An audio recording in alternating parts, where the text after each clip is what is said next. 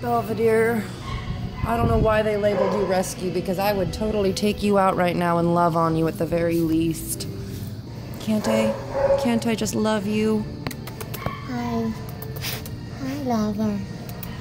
I don't know why you have a pink collar on like your cute little lipstick. You're all pinked out right now. Pink out, boy. I know. I love you. I don't know why I torture myself like this, but they're gonna come put you to sleep here in the matter of like an hour or two. And that's just bullshit.